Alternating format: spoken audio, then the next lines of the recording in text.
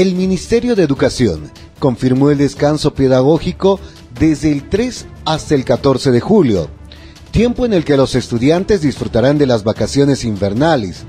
Asimismo, la resolución ministerial 01-2023 estableció que los maestros no deben dar tareas durante este periodo. Eso eh, establece claramente en la 01 y también nosotros estamos reiterando una y otra vez que vaya el estudiante a descansar, a poder despejar la mente y para poder volver y continuar con estos aprendizajes presenciales para que sigamos recuperando esos aprendizajes que se han perdido, le queremos fortalecer, queremos mejorar nuestra calidad educativa y nosotros nos mantenemos en los 15 días.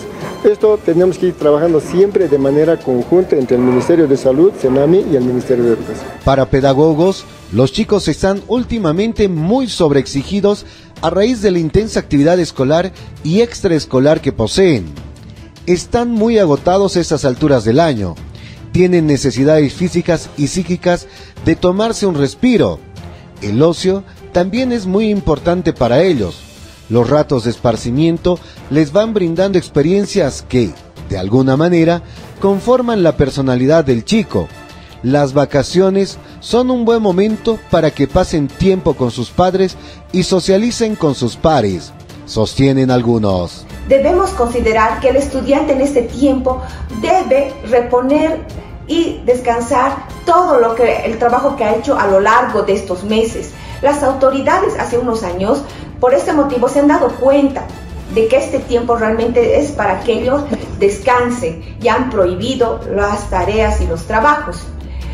Pero muchos maestros aún cometemos el error de seguirles dando trabajo y mucho, mucho en exceso en estas vacaciones. Otros disienten en la idea de que el descanso sea producto de una exigencia académica.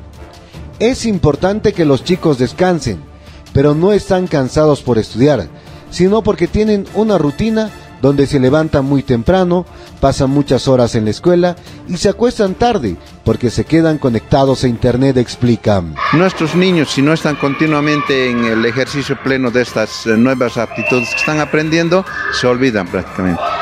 Ya tenemos niños que, por ejemplo, ya leen textos, vuelven después de la vacación y se han olvidado. Los maestros y las maestras tienen que volver a empezar nuevamente a hacer pasar empezando en las vocales. Con la numeración ocurre lo propio. Pero ¿qué dicen los padres de familia sobre si deben o no recibir tarea a sus hijos para las vacaciones de invierno? Yo creo que no, está, no estaría de acuerdo porque es más que todo para descansar, ¿no?